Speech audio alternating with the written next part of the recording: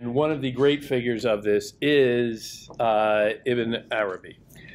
And we only have here this one example that we can go through. Uh, um, gentle now doves. And you can see a lot of the same elements being uh, dealt with here, being uh, being manipulated and considered from different angles.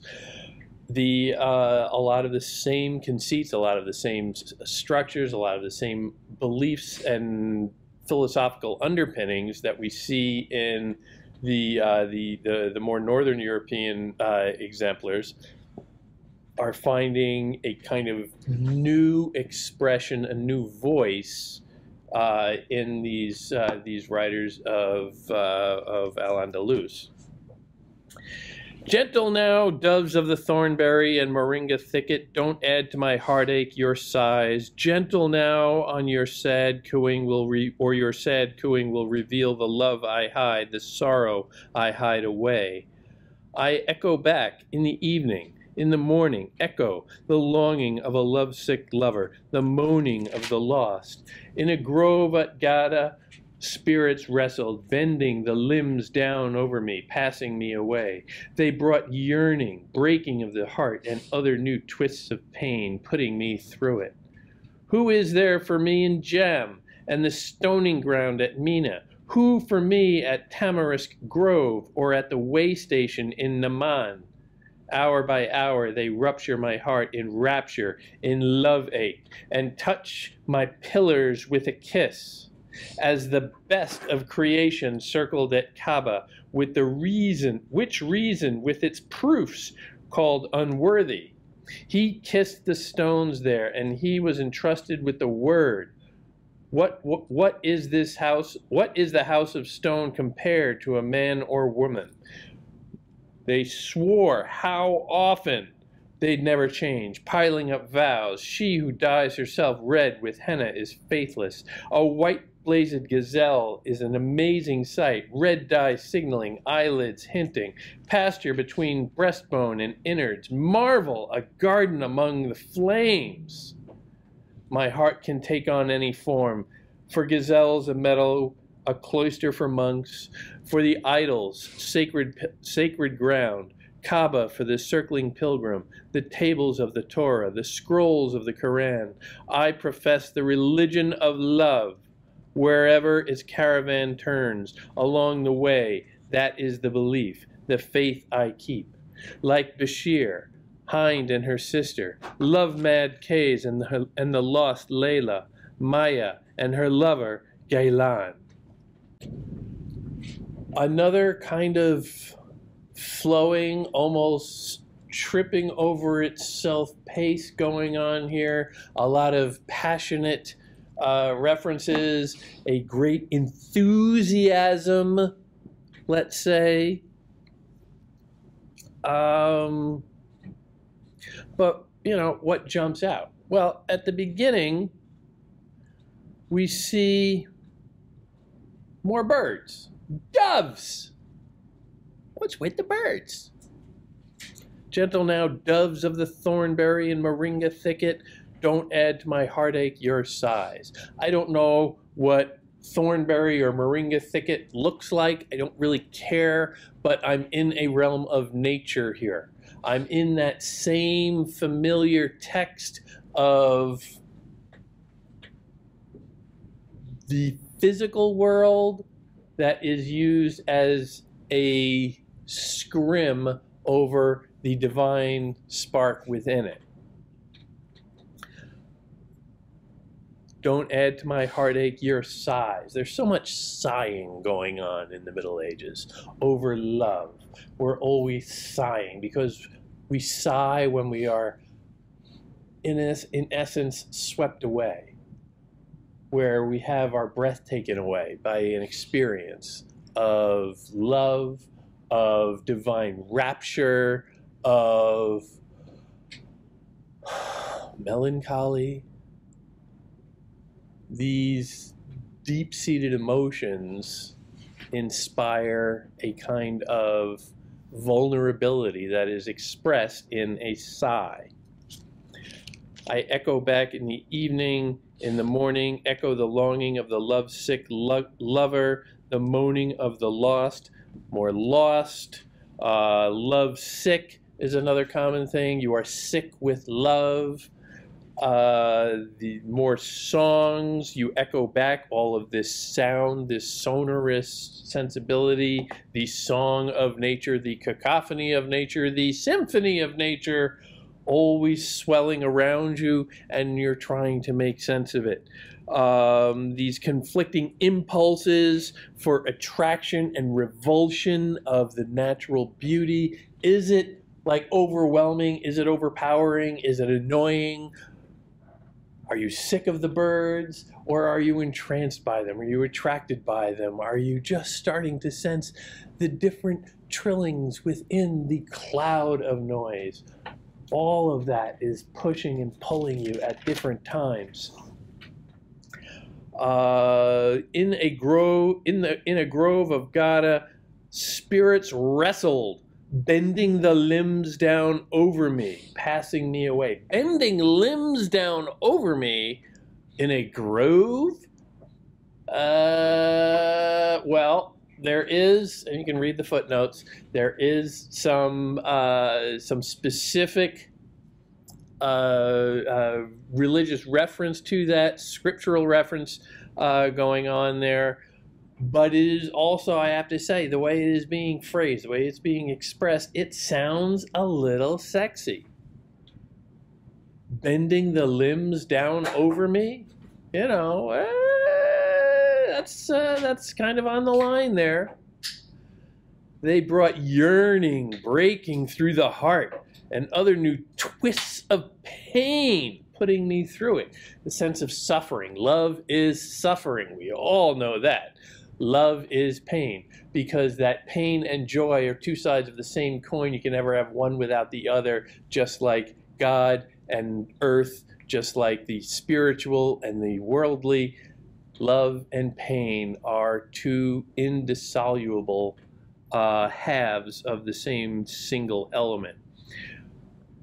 But that pain is also a sign of that same vulnerability, that same sense of oh geez i'm I, uh, i'm just trying to figure out the world. I'm just trying to get by and i could get swept away like that.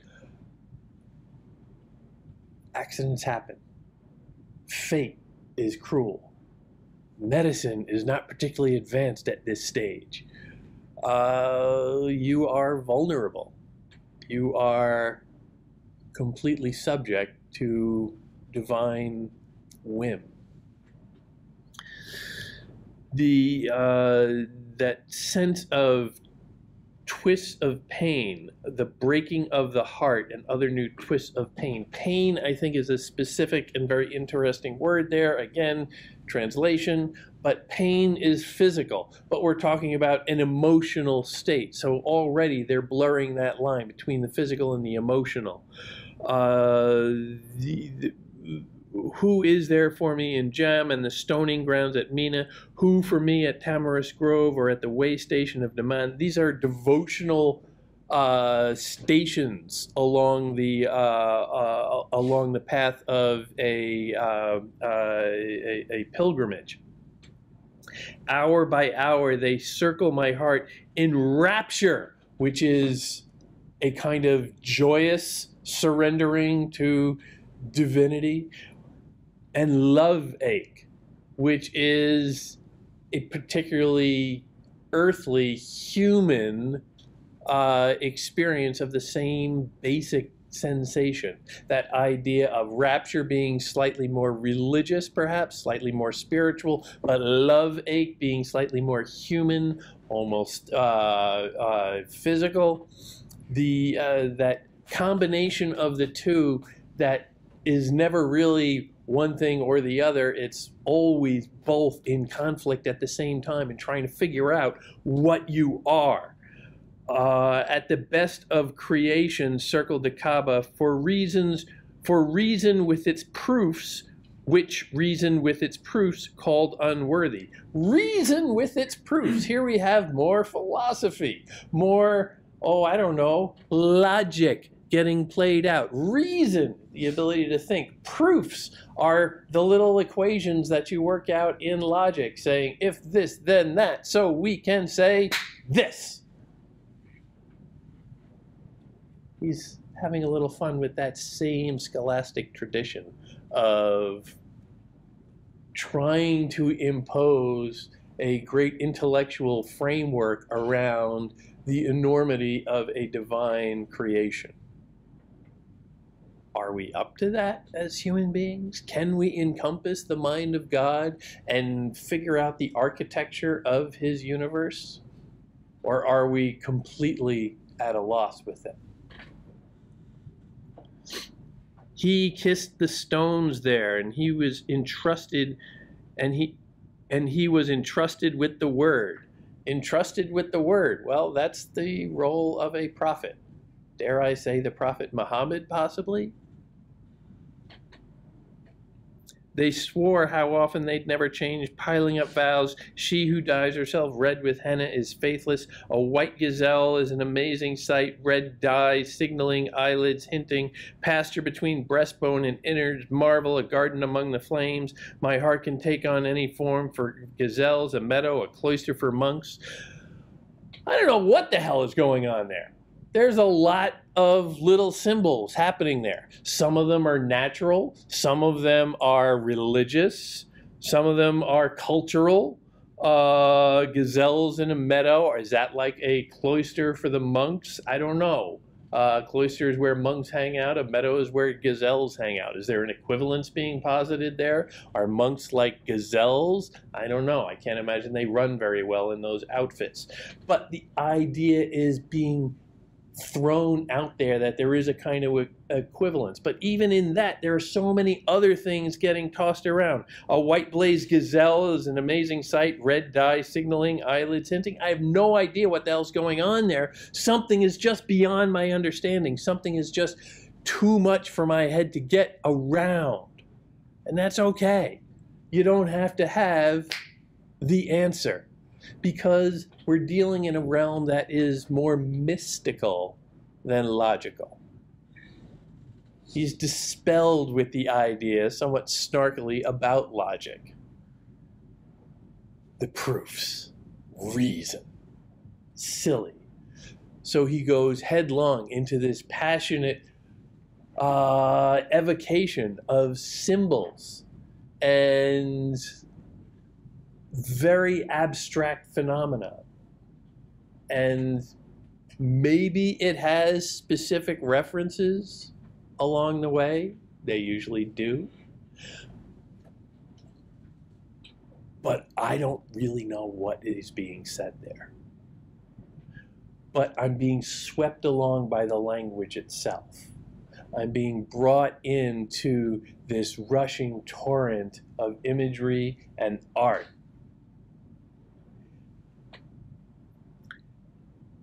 that is like being swept up by faith or divinity itself. I profess the religion of love. We've heard that before. The religion of love, the cult of love, this belief of love as a kind of religious practice itself. Participating in love is participating in the divine wherever its caravan turns along the way, that is the belief, the faith I keep. Caravan, a nice little spin on that. The caravans were famous for the travelers, the pilgrimage towards Mecca. But of course, this guy is writing it from Spain, where eh, you probably don't need the caravan so much. He's writing in a very, uh, I think he's in Cordoba, very cushy surroundings. And at the end, all of those little names, these are characters in uh, familiar characters in love poems, love stories. Uh, like Bishir, Hind, and her sister, Lavmed Kays, and the lost Layla, Mila and her lover Gayla. Why end that? Why end just throwing out names or titles and literary references and all those things that everybody always hates. Why? Well, I don't know. I'm just spitballing here, but I'm thinking, well, okay, what could it mean? This is a story with some very specific and explicit spiritual references, religious references, that then ends on a note of art. Is that an equivalence between scripture and art? The scripture being laid side by side with not just art, but art about love. Is it the fact that it is art, that it is love poetry, love stories, these grand lovers of yore? Is that another kind of scripture? Is that a human representation or metaphor of the divine spirit itself?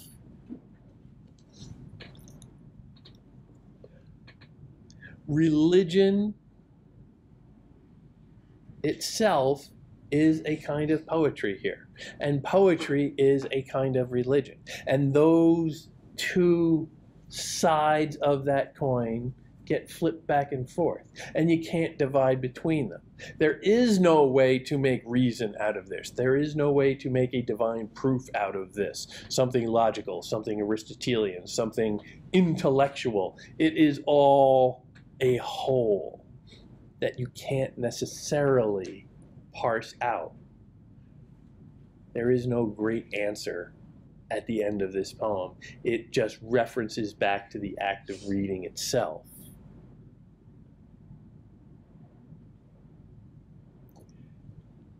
The nature of reading is the nature of humanity. Reading the book of God in nature. Reading the book of God in the experience of love and in the experience of love, celebrating one's humanity, which is at once yourself at your most animalistic and yourself at its most divine. Those polarities, those dualities are always tugging at you. And that's what makes this really exciting.